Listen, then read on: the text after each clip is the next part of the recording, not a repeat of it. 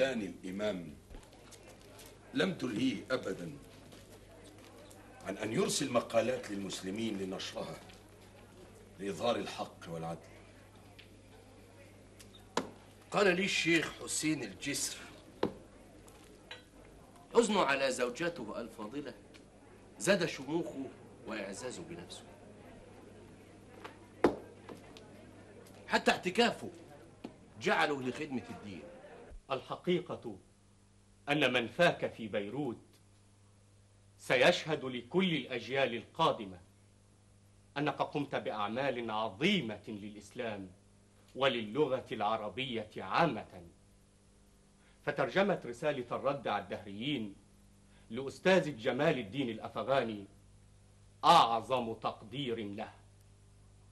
وشرح نهج البلاغة ومقامات بديع الهمذاني إضافة عظيمة للغة العربية. وأعد أن أنفذ أعظم المهام. ما أحلى الوعد. ما أعظمه أي وعد أعظم من هذا يا فضيلة الإمام؟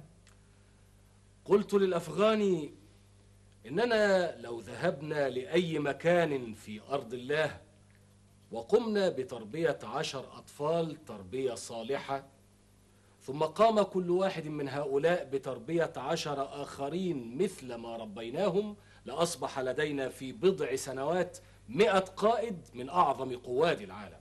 لقد خلقت حتى تكون معلما يا مولاني نعم خلقت للتعليم وليس للسياسة لعنة الله عليها. هل تعلمون أنني لم أختلف مع أستاذي جمال الدين الأفغاني إلا قبل مجيئي إلى هنا. تختلف مع الأستاذ الأفغاني؟ تختلف معه لماذا؟ قررت أن أطلق السياسة طلاقا بائنا لا رجعة فيه. الأفغاني يرفض ذلك. نعم. كانت ثورة عارمة منه. الإصلاحات الدستورية هي التي ستنهض بالشرق كله. لن ينهض الشرق إلا بانتشار التعليم ولن تنهض مصر إلا بإصلاح الأزهر. محمد الحاكم المستبد الذي يحكم في الناس حكما فرديا لن يعنيه أن يتعلم الناس لكن يهمه أنهم يظلوا على جهلهم إلى الأبد. أنت معي إذن في أن التعليم هو الأساس في نهضة الشعوب؟ عن أي شعوب تتحدث؟ أعتقد أنك تتحدث عن الشعوب الحرة. الشعوب الحرة هي التي تحكم نفسها عن طريق نواب لقد أضاعت السياسة عظماء الرجال عرابي والبارودي والنديم وأنت وأنا وآلافا غيرنا.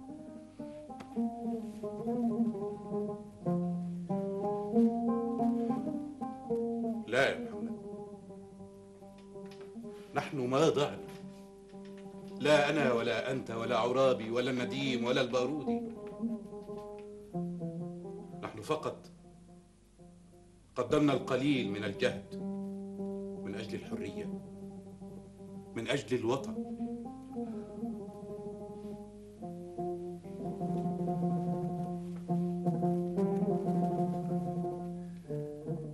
ولكني لن أعود إلى السياسة أبدا. أبدا.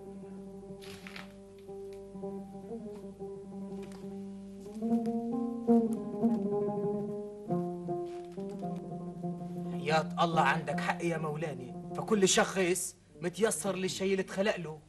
والآن نحن ندعو الإمام أن يفكر في نفسه باسم الإسلام. ماذا تعني؟ لا يمكن أن تعيش في هذه الوحدة بعد وفاة زوجتك. الشيخ الجسر معه حق يا مولانا وأنت رجل لا يحيد عن الحق أبدا.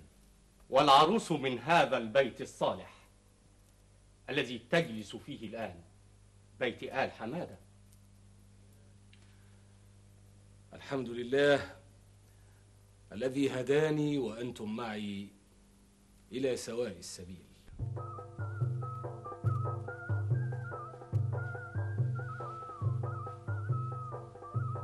أهلا ببنت أهل الكرم كله. شرفت بيتك. الحماد اللي تشرفت بيك يا إمام المسلمين. بل أنا زوجك وأتمنى من الله أن أكون دايما عند حسن ظنك بيا أه، أه، امال وين الولاد؟ الأولاد الليلة في بيت الشيخ حسين الجسر. فقد فضل الشيخ الصالح أن تتعرف العروس على المكان قبل أن تتعرف على أهله. أنا رضيت بأهل المكان يا شيخ محمد. فالمكان ما له معنى بدون أهله.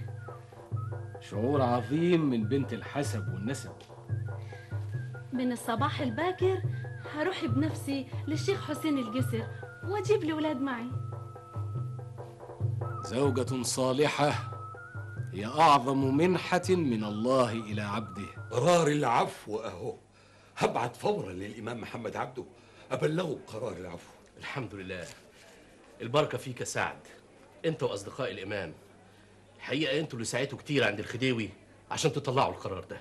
الحمد لله. بس الحقيقة يا شيخ حسن مش الخديوي اللي أصدر قرار العفو. سلطان عبد الحميد هو اللي أصدره. الخديوي السلطان عبد الحميد ما تفرقش. ما هم كلهم زي بعض.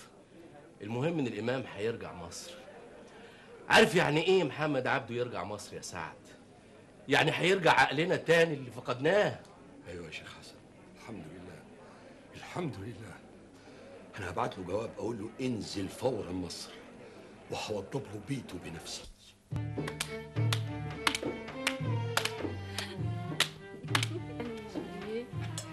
قلبي لازم تاكل حاجة عشان تصير كبير. تبقى مثل الأطفال الحلوين. خد حبيبي. حبيبي تقبل عيوني إن شاء الله. خدي حلوتي.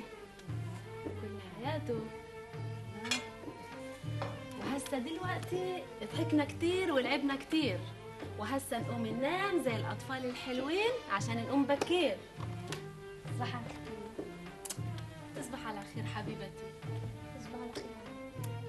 خير يا عيوني. مسوا على بابا. تصبح على خير يا بابا. تصبحوا على خير. يلا عشان تحلموا أحلام سعيدة. جميلة حبايبي. يلا. لكن الإمام لابد أنه بيعلم ومن حقه أنه بيختار. فهو لابد عائد إلى مصر. هذا من حقه. يجب أن يعلم. لقد آن الأوان أن يعرف الإمام خبر العفو عنه. الغريب يا شيخ حسيني إن ما في حدا ممن عرفوا بالخبر. قال له أي شيء؟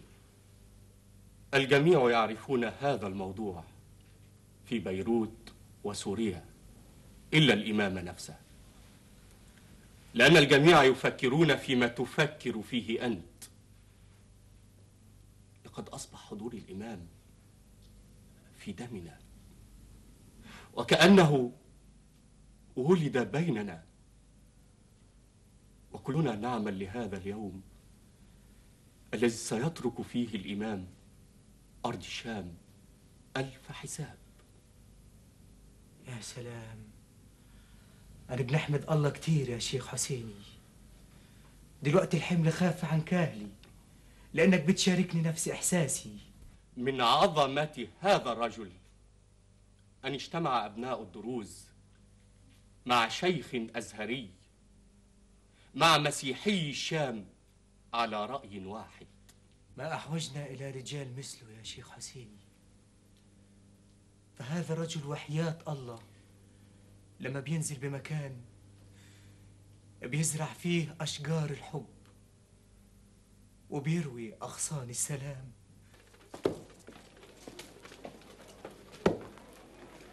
والله يا شيخ حسن أنا كنت متصور إن الإمام لما يبلغه قرار العفو هينزل فورا على مصر. أشك أن يكون خطابك وصل ما تمام احتمال. مسألة واردة. عشان كده أنا هبعت له جواب أستعجله في النزول لمصر وإلا هروح له بنفسي لبيروت. طب هل تستبعد أن تكون أسرة آل حمادة قد أخفت عنه الخبر وجعلته يقيم فترة مع زوجته؟ في وطنها هناك؟ والله مسألة مش بعيدة يا شيخ حسن. بس هو لازم يعرف إن وجوده في وسطنا هنا في مصر أهم وأقوى بكثير من أي عاطفة أخرى. نعم؟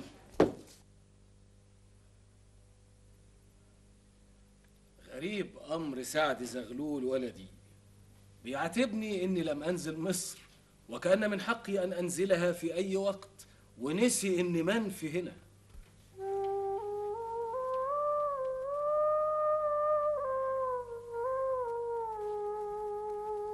مالك يا شيخ حسيني؟ مالك يا أخي شكيب في حاجة غلط في الكلام اللي أنا بقوله ده؟ اسأل الأستاذ شكيب أرسلان في إيه يا شكيب يا ابني؟ يا مولانا حياة الله ما شعرت أبدا بغياب والدي. وأنت هون في بيروت. رحمه الله. فقد كان رجلا فاضلا. يعلم الله يا مولانا. بشعوري هلأ وأنا بخبرك بقرار. العفو عنك ورجوعك لمصر.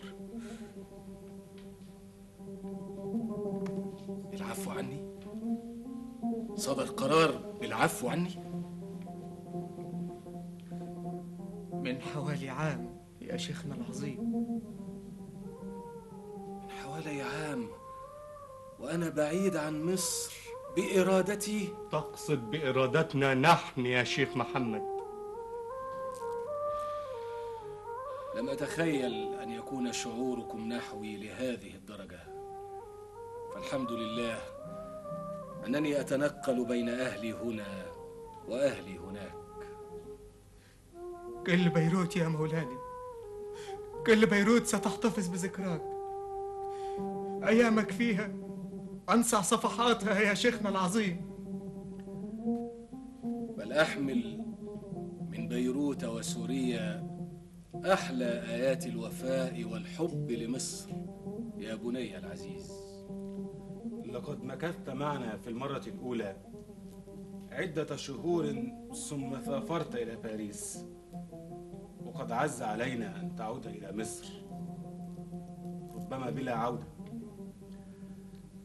حتى إن لم أعد أنا إلى هنا فأنتم جميعا حتما ستأتون إلى مصر. أما أنا فلن أتركك أبدا وسأكون في ركابك أينما سرت. أصحاب السلام.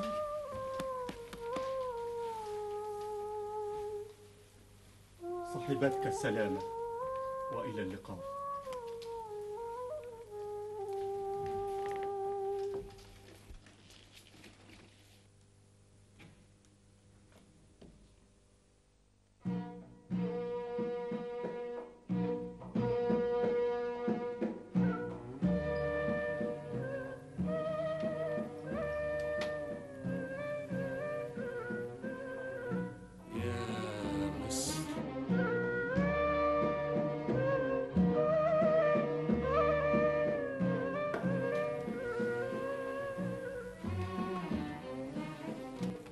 لله على السلامة يا محمد. الحمد لله على السلامة. يا ست سنين غايب عن مصر. من سنة 1882 والسنة دي 1800 ها؟ آه والسنة دي 1888 لكنه كان الغائب الحاضر. فهو لم يبعد عنا إطلاقا. وأنا كان بإيدي إيه يا والدي؟ آه يكون في عونك يا ابني. بس أنا من ساعة وفاة المرحومة والدتك. وأنا عايش في وحدة شديدة جدا يا محمد. خلاص انتهت الوحدة وإن شاء الله تعيش معانا.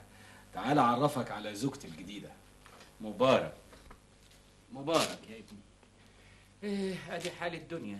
ناس رايحة وناس جاية. أهلا ببنت آل حمادة وألف رحمة تنزل على فاطمة العزيزة الغالية. تعال.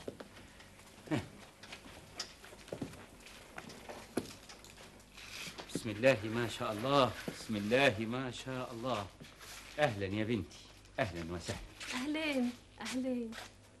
بارك الله فيك. أغلى والد في الدنيا. اتفضل. بسم الله الرحمن الرحيم. الله. يا بختك بيه يا محمد. ويا بختي أنا كمان. إن شاء الله تعيش معانا هنا في مصر. إيه؟ يا ريت كنت أقدر يا محمد. يا ريت. أنت عارف يا محمد الشجرة الكبيرة لما تتقطع تموت في ساعتها. عارف ولا نسيت الزراعة في الغربة يا محمد؟ عمري ما نسيت أي شيء اتعلمته في مصر ولو لحظة صغيرة. قوم يا ابني ضيوفك كتير واللي جايين يهنوك كتير. قوم اقعد معاهم. وسيبني أنا مع مراتك شوية علشان أقول لها كلمتين أوصيها على الأولاد. سليمان باشا أباظة. أهلا أهلا وسهلا. إزيك يا شيخ حسن؟ أهلا وسهلا. اتفضل سعادتك. السلام عليكم. وعليكم السلام. أهلا. يا باشا. اتفضل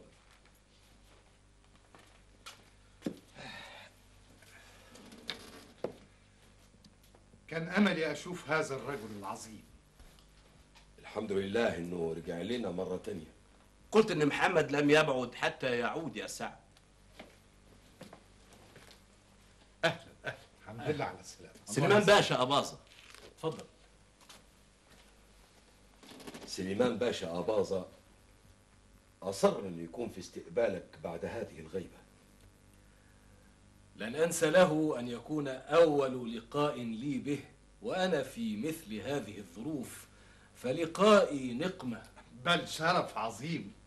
فأنا هنا أتعرف على الرجل لأن العالم تعرفت عليه من زمن طويل. أرجو من الله ألا يعرف. من هو؟ الخديوي أنت لا تعرف ما سوف يكون عندما يبلغه خبر وجودك في استقبال الإمام محمد عبده. ما معنى هذا؟ معناه معروف. أنت ناظر المعارف ومرشح في الوزارة الجديدة. وده ماله ومال إني بستقبل الإمام بعد غياب ست سنوات. معناه إن الخديوي هيغضب منك ويا عالم كرسي وزارة المعارف هيكون من نصيب مين؟ خصوصا والدنيا مليانة برجالة الخديوي اللي بتراقب الإمام واللي موجودين في استقباله. يا ريتهم يبلغوه إن سليمان أباظة له الشرف والفخر إنه يستقبل الإمام محمد عبده. وإذا كان الخديوي هيزعل هو حر وبلاش كرسي الوزارة. مالك يا سعد؟ آه، لا أبدا يا شيخ حسن. ولا حاجة. يا رب ما تكون بتفكر في اللي أنا بفكر فيه. وهنفكر في إيه غير الإمام محمد عبده؟ هو جايز يكون عارف دلوقتي بقرار العفو لكن اللي ما يعرفوش إنه برضه هيبقى منفي وهو في بيته في القاهرة. الخديوي هيمنعه من ممارسة أي نوع من أنواع نشاطاته. كان أكرم له يعيش في سوريا يعيش في لبنان. المهم يمارس نشاطه العظيم ورسالته. مش دلوقتي. هيقعد في عزلة في بيته وكلاب السرايا بتراقب اللي داخل واللي طالع. هو في حل تاني بس المهم الإمام يوافق. إيه هو؟ أنا ممكن أكلم الأميرة نزلي فاضل تتدخل بخصوص موضوع الإمام. أنت عارف إني وكيل أعمالها. أي خطوة مهمة.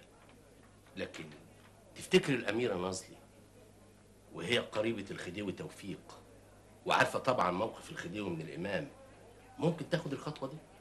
والله يا شيخ حسن مش ده اللي مخوفني. أمال إيه اللي مخوفك يا سعد؟ إن بعد ما الأميرة توافق الإمام يرفض. وده مربط الفرس. أعتقد إن الإمام أذكى من إنه يرفض موقف زي ده. أنت عارف إن مفيش قوة على الأرض. ممكن تثني الإمام عن مبدأ من مبادئه. طيب وقاعد ليه؟ ما تقوم على بركة الله. أيوة على بركة الله. اتفضل اتفضل يا شيخ.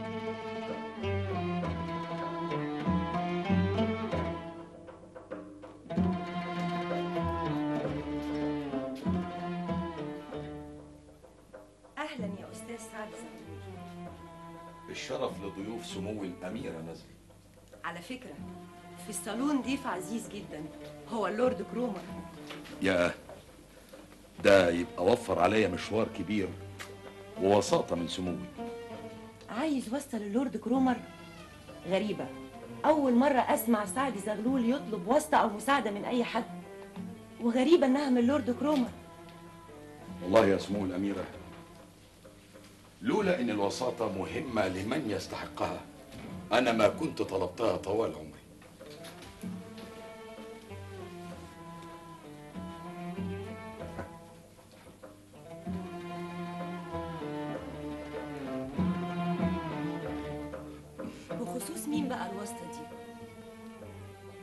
بخصوص الإمام محمد عبده. اطلب اللي انت عايزه يا سعد بخصوص الإمام محمد عبده. وأرجو أن أشترك معك في هذا الشرف. والله يا سمو الأميرة الواسطة عند مولانا الخديوي لأنه مش معقول الإمام يرجع مصر بدون عمل. إمام بدون عمل؟ ده خسارة لمصر مش للإمام يا سعد. أنا لولا ثقتي إن سمو الأميرة بتقدر الإمام ما كنتش سعيت إلى هذه الوساطة. مش ممكن. الراجل ده أس البلاء في البلاد. نسيتوا إنه كان شريك عرابي في التمرد اللي قام به ضدي. نسيتوا إنه كان بينادي بخلعي حتى وهو في باريس. ونسيت يا سمو الخديوي إنك قلت للأفغاني وللإمام محمد عبده إني بحط أمال البلد دي بين إيديكم. ما كنتش لسه بقيت خديوي يا ستي. كان عنده حق والدي الله يرحمه في كل اللي عمله فيه. اللي انت عملته فيهم يا خديوي توفيق. أكتر من اللي عمله الخديوي إسماعيل ألف مرة. من خطورة الراجل ده إنه له في في في بيتي ومن عائلتي أنصار ومؤيدين. معنى كده إنه راجل عظيم. عجبك لورد كرومر؟ عجبك رأي أميرة نازلي في الراجل ده لورد كرومر؟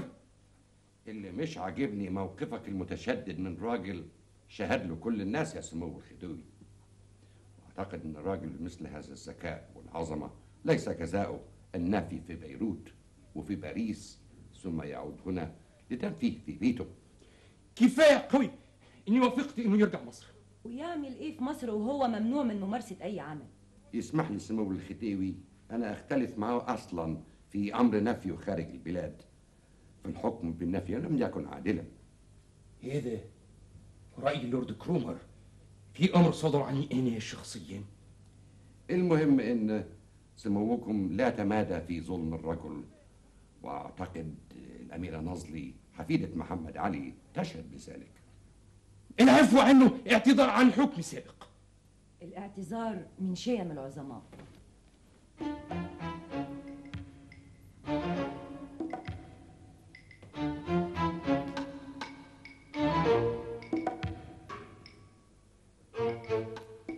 لقد عفوت عنه ولكني ما عفوت عن أحد قبل ذلك عفوا. هو أشبه بالاعتذار منه بالعفو الا عن هذا الرجل اللي توسط بيني وبين الخديوي توفيق الأميرة نزلي ولورد كرومر نفسه؟ المهم إن قرار العفو صدر والحمد لله. والأمر لا يحتاج سوى زيارة للخديوي. بعدها تقدر تباشر كل نشاطك. أرجوك روح عفوه إيه يا سعد يا ابني ده اللي تتوسط له من الأميرة نازلي واللورد كرومر الإنجليزي؟ أنا بتكلم عن اللورد كرومر الإنسان المعجب بالإمام مش الإنجليزي.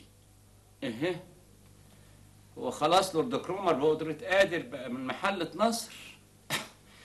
ولا يمكن اتربى في السيدة زينب وبقى واحد مننا. دول هم أس البلاء في البلد. لقد أصبتك كابد الحقيقة. اوعى تفتكروا إن كرومر بيحب مصر ولا المصريين؟ لا. اللي بيعمله كرومر واللي هيعمله دايما بسبب كره الأتراك والشراكسة اللي بيدينوا لتركيا. أنا ما أعتقدش أبدا إن في خير يجي في البلد دي على إيد واحد إنجليزي وإلا اللي حصل ده كله كان حصل ليه؟ أنا مش هتكلم. الإمام أهو موجود يقول كلمته. أي كلمة يا والدي العزيز أنا أشكر لك صدق مشاعرك ولا أشك لحظة في صدق مشاعر سعد أو الشيخ حسن. كل واحد فيكم صادق وله منطقه وكلمته.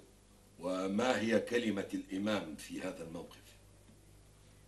يهون كل شيء ولا يحجر أبدا على فكر إنسان أو تصادر آراؤه. فصاحب الموقف لا يتباهى أبدا بموقفه وهو يصدره للناس من وراء ستائر خرسانية. وإذا كان لورد كرومر توسط لي ولا يخشى مواجهتي فكيف أخشاه أنا بحجة أنه إنجليزي؟ أعظم شهادة لك في الوجود هي أن يشهد لك أعداؤك. مرحبا به في منزلي يا سعد وأنا في انتظارك. حفني ناصف. جورجي زيدان قاسم أمين هدى شعراوي وطبعا ابنك سعد زغلول. وتلميذه يا سمو الأميرة شرف عظيم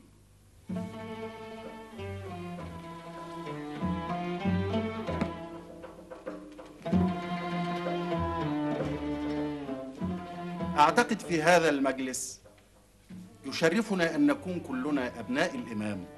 وليس سعد زغلول وحده. الإمام عمره 44 سنة. يعني مش أكبر منكم بكتير. السن ليس له دخل وفكر في هذه الأمور. هذا حق. أتمنى ألا تكونوا قد ألبستموني لباسا أكبر مني لا أستحقه. يا مولانا إحنا لينا الشرف إننا بننال هذه المكرمة. يوني لسه ما حذرح منه تقوم برضو تتحداني وتستضيفه في صالونها.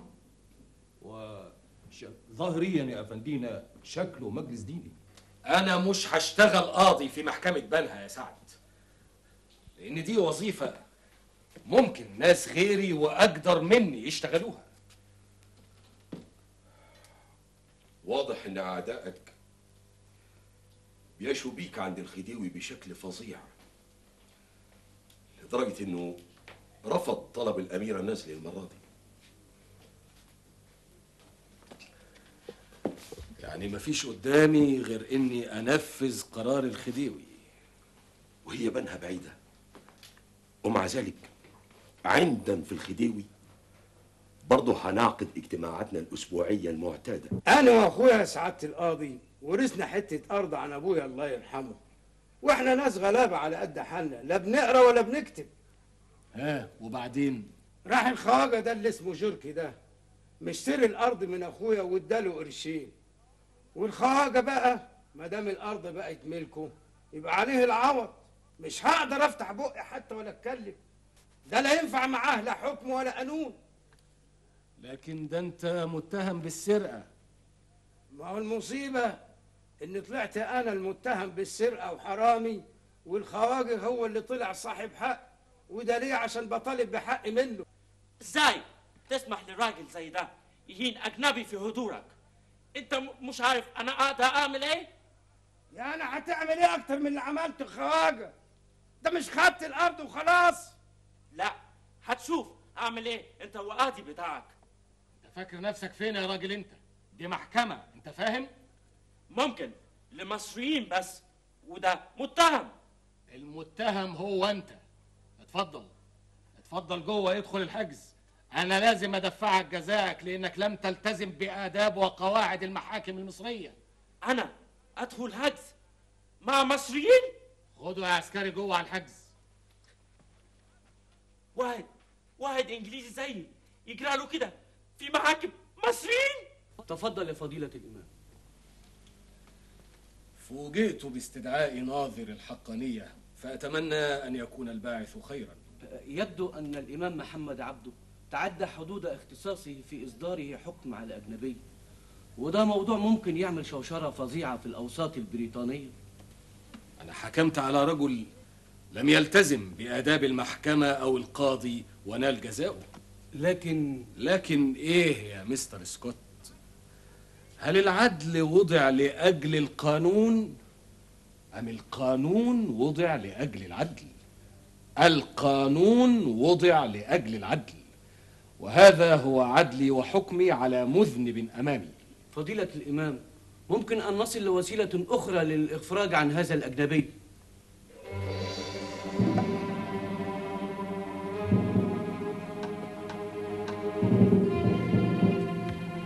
من المؤسف أن يساوم ناظر الحقانية في تنفيذ العدل ويتحايل على مواد القانون لبراءة المتهم.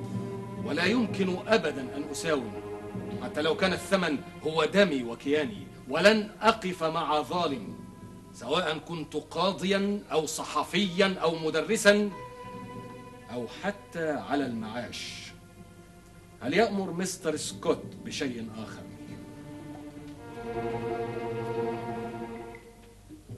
أشكر الفضيلة الإمام تفضله بزيارتي السلام على من اتبع الهدى.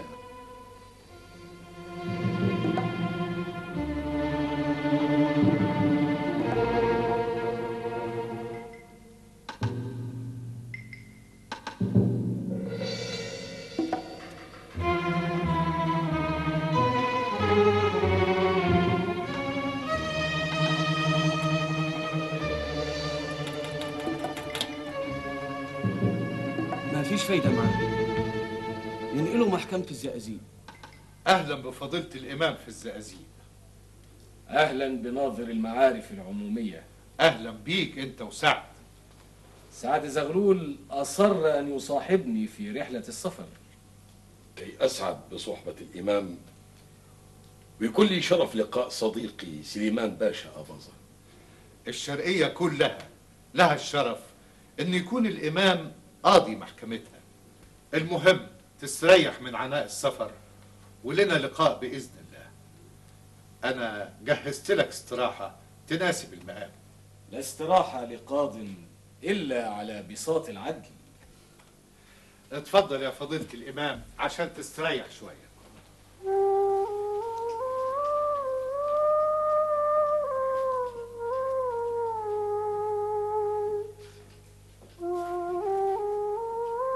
أنا عايز ابعده عن مصر. تدخلي لي انت انك عايزه يبقى الشيخ الأزهر. ده مكانه وده مكان محتاج لواحد زي الإمام محمد عبده. الراجل ده أنا ما بطيقش سمع حتى اسمه. أنت تحب طبعا يا سمو الخديوي أن تحكم بلد مستقر وعظيم ولن ينصلح حال البلاد إلا بصلاح الأزهر. كلامه نفس كلامه. واحدة من عيال ملكة تقول نفس الكلام يقولوا إمام محمد عبده. اللي بطلبه طلب عادل يا سمو الخديوي. اللي مش فاهم. راجل بالخطورة دي. ناس تدافع عنه قدامي وهم عارفين إني قلبت أعدائه إزاي. الراجل ده مش بعيد ابدا. لو بقى شيخ للأزهر إنه يطلع فتوى بإني ظالم ويحرق دمي شايفين؟ شايفين يا في سيرته بتعمل فيا إيه؟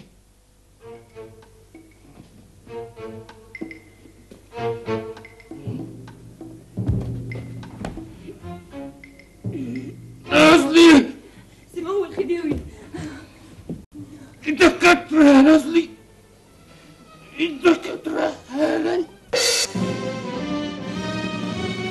ولا تنطفي يا شمس لا